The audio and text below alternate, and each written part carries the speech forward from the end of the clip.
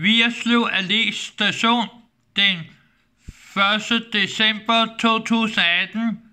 Der kører kl. 6.00 kører linje 1 mod Hellerup Station.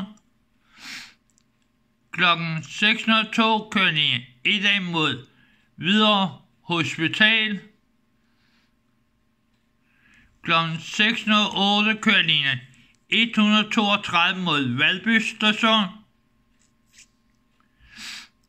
Kl. 6.12 kører linje 1 mod Advør Station. Kl. 6.13 kører linje 133 mod Advør Station. Kl. 6.20 kører linje 132 mod Timbjerg Gavhusvej. Kl. 6.30 kører linje 133 mod Valby Station. Kl. 6.33 kører i dag mod Klampenborg Station.